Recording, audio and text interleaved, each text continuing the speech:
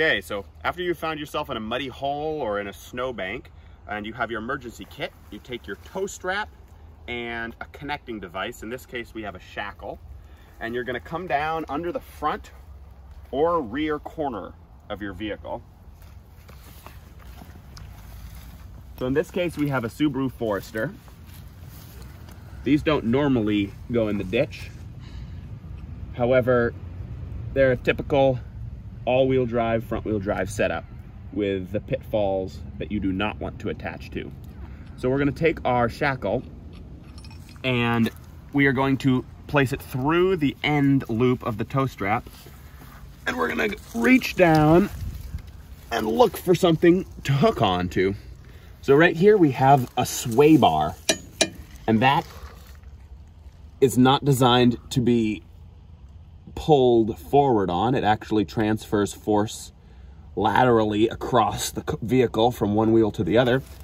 Right here, we have a steering linkage, and that actually is something that if you bend, you will need an, an alignment.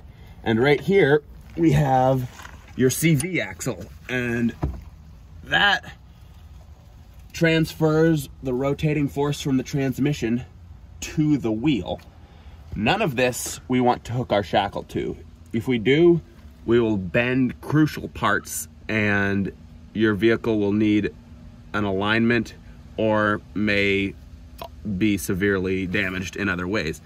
What we're gonna want to come and attach to is gonna be further forward on the frame, if it's a full frame vehicle, or there's going to be these little loops attached to the unibody structure.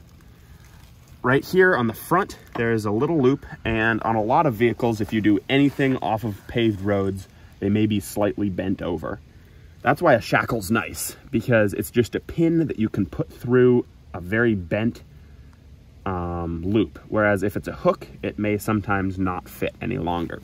So right now we're gonna hook it through, put the pin through the loop on the vehicle, and you wanna thread it until it's tight and then go back off a little bit. Otherwise, the force transferred by yanking this out may slightly deform the shackle and you'll never get that pin back out. Okay, we're ready to yank this vehicle.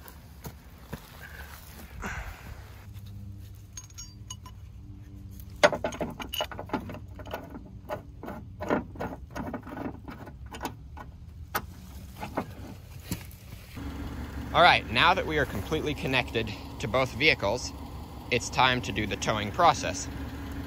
One important thing with towing a, a, car out of the ditch is to make sure not to yank on anything. That can bend the frame and do damage to both cars. So when everything is set up, you can slowly pull the tow strap tight until there's good tension.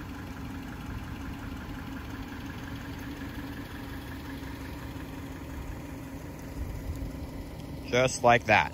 Now, once there's tension, you can communicate with the other driver and tow the car forward out of the ditch. Make sure the other driver doesn't hit you.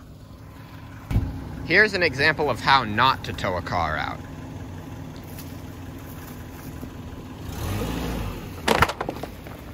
That probably just broke the frame of my vehicle.